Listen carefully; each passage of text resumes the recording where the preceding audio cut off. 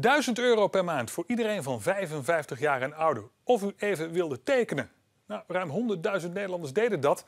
TV-programma Radar voert campagne voor het basisinkomen voor ouderen. De petitie wordt hier aangeboden aan de Tweede Kamer. Het is een slecht plan met een paar goede elementen. Eerst die goede elementen. Ouderen hebben het moeilijk op de arbeidsmarkt. Iedereen kent die verhalen wel hè, over die 55-plussen die tientallen brieven schrijft, maar helemaal nergens wordt uitgenodigd. Dat is natuurlijk vreselijk. Een dikke pluim voor Radar dat ze dit probleem op de agenda zetten.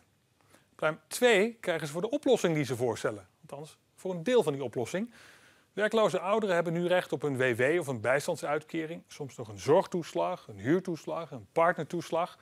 Er zijn dan wel weer allerlei voorwaarden aan verbonden. Het eh, controleren en het uitkeren van al die toeslagen is echt een ongelooflijk ingewikkeld systeem geworden dat honderden miljoenen kost. En het basisinkomen maakt daar een eind aan. Hulde. Waarom is het dan toch een slecht plan? Nou, omdat hier met een kanon op een mug geschoten wordt. De generatie van 55 tot 65, daar praten we over. Dat zijn 2.255.000 Nederlanders. Daarvan zijn er, als je de meest ruime definitie van het CBS neemt, 143.000 werkloos. Dat is 6,3 procent. Vergelijk dat nog eens met al die generaties daaronder, de leeftijd van 25 tot 55. Daar is het werkloosheidspercentage 5,8 procent. Dus van een massale ouderwerkloosheid is in ieder geval geen sprake. Vooral omdat ouderen ook steeds vaker werken. Het aantal 55-plussers met een betaalde baan is de afgelopen 13 jaar bijna verdubbeld. Van iets meer dan 800.000 in 2003 eh, naar bijna 1,6 miljoen werkenden in 2016. En die arbeidsmarkt die lijkt ook steeds meer te wennen aan die oudere werknemers. Kijk maar eens hoeveel 55-plussers er binnen een jaar weer een baan vinden. Dat was nog 30% in 2012. Dat steeg een heel klein beetje in 2013. 2014, het meest recente cijfer, was dat al 35%. Het is dus echt niet zo dat werkloze 55-plussers nooit meer aan de bak komen. Al ligt het percentage wel een stuk hoger als je de hele beroepsbevolking neemt. 65 ten opzichte van 35 procent. En toch moeten we, als het aan radar ligt, 31,5 miljard euro per jaar uittrekken om die groep 55-plussers te helpen. En dat kost zo'n basisinkomen. 31,5 miljard euro.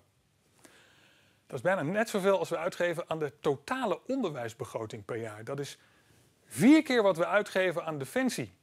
En het doel was, weet u nog, om die 143.000 oudere werklozen te helpen.